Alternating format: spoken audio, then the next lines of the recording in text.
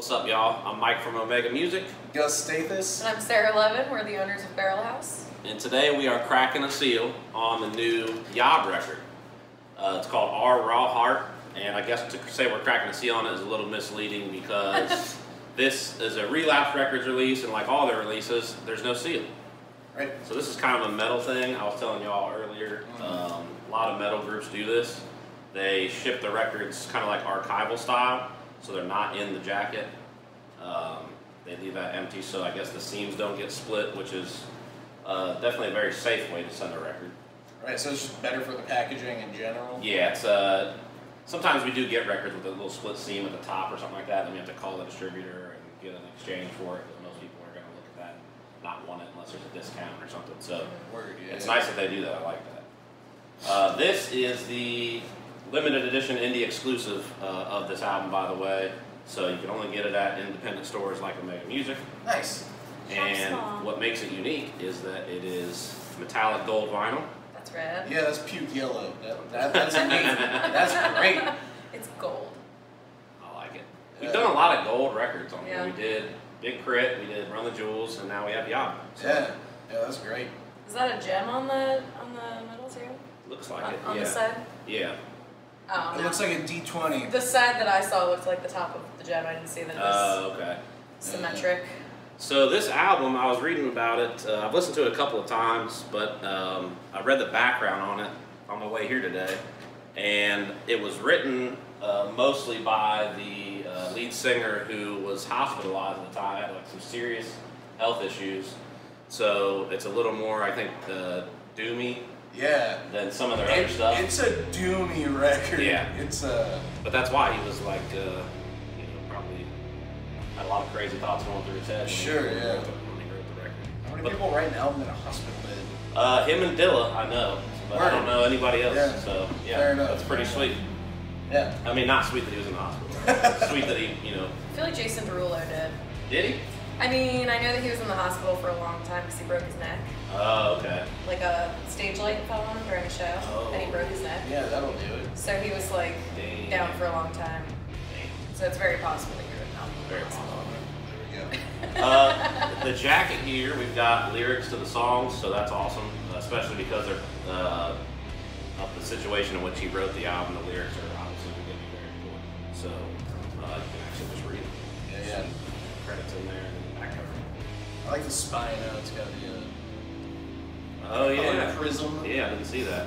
You might not be able to see that, but you can come to Mega Music and pick it up for yourself, and then you'll have it to look at whenever you want. Uh, what are we pairing this with, y'all? Uh, we are pairing it with Dark Horse Brewing Company's Bourbon Barrel Aged Scotty Karate. We figured uh, there are very few breweries that are more metal than Dark Horse. That's right. So uh, it just kind of made made a lot of sense. And we're fresh off the heels of a Dark Horse visit. Yeah. So it's Yeah. also seemed fitting for that reason. Yeah. Um, so why don't we pop these open? Laugh at Cooley as he tries to pour it. and Preemptively discuss- laugh at Cooley. discuss to- Yeah. Big shout out to Flo at Dark Horse, by the way, for setting up our trip. Yeah. Yeah. Uh, we will tell you more about the results of our trip here in just a minute. Yeah. Flo set it all up for us. It was great. Be the best.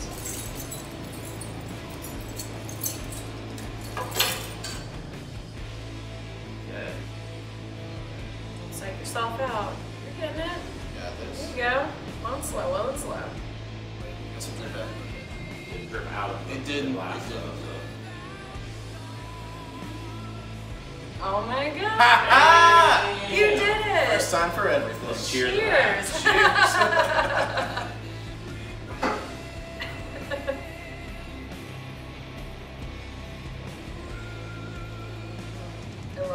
so much. Yeah.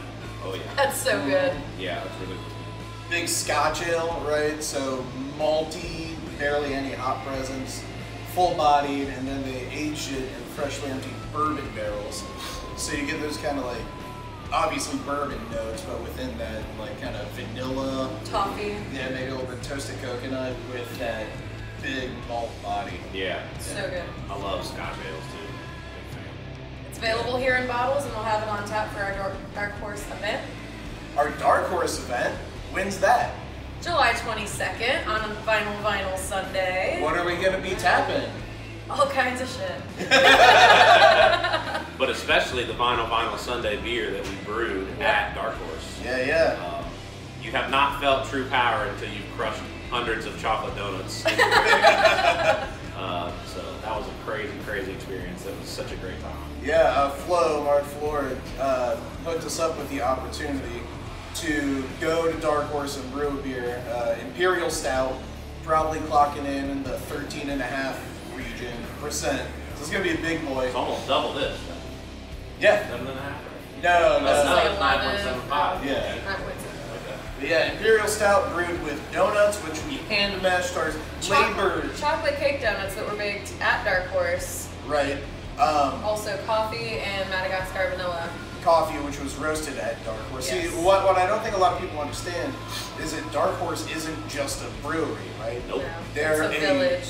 Brewery, a restaurant, Good way to describe a motorcycle shop, a furniture store, a skate shop, a Tattoo uh, shop. tattoo shop. General store, did you say that? I don't think so. They got a general store, a bakery, and a coffee roaster. They sell all kinds of homebrew stuff in the general store too. Yeah. So It's Yeah, crazy. yeah. they encourage brewing amongst their community, which is great.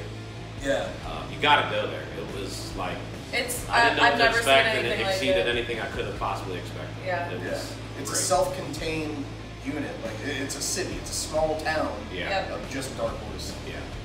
Make the trip. It was like three hours from Yeah. Dayton. It's like- Three, three and a half. Yeah. Yeah. Not if, bad If you're at not in. Dayton, still make the trip, but it's not bad from Dayton at all. And I think you can crush the entire S Town podcast there and back. We Yep. did that. We did. Yeah, come down, hang out at the party. What July twenty second? July 22nd, Vinyl Vinyl Sunday. Cooley's gonna be DJing. Yeah. We're gonna have some super special beers on tap, including the ones that we, or the one that we made ourselves. Mhm. Uh, and Barrel Age Plead the Fifth, which is a Woo! buzzword beer. It's gonna be a great time. We're gonna be playing all sorts of great records. Um, if you got something you want to listen to that day, bring it down too. I'll throw it in the mix. Uh, I can't wait. July 22nd. We'll see y'all there. Yeah, yeah. Um, make sure you comment, like, share the video, all that good stuff, and stop down at Omega to get that new Yob album, as well as stopping at the Barrel House on Vinyl Vinyl Sunday, or any day really, to get the Bourbon Barrel Age Scotty Karate with a name. Right. Scotty Karate. Sweet name. Get it before it's gone. This they have some great forever. names on their beers. Like They- smells like a safety meeting. Yeah, and what was the what was the Jesus one? Scary Jesus Rockstar. Yeah. There's a story behind that. Do you know that? No, I don't. So they were. Remember, Dark Horse had a TV show there for a short bit, um, and they got a lot of notoriety out of that. So Nickelback asked to shoot a music video on site at Dark Horse, Okay. and, and they said like absolutely not. and then named a beer after their lead singer, who looks like Scary Jesus apparently. so that's why it's called Scary Jesus Rockstar. And there's like a cartoon version of that dude on the label. Yeah, yeah, that's amazing. Yeah. I, d- I almost bought that shirt, and if I'd have known that story, I definitely would have bought that shirt right there. Right. That's great. But yeah, again, shout out to Dark Horse. We can't thank you enough. Great time. You guys are the best. Come drink the fruits of our labor, labor July 22nd. Yeah. Cheers. Cheers. Cheers. Good.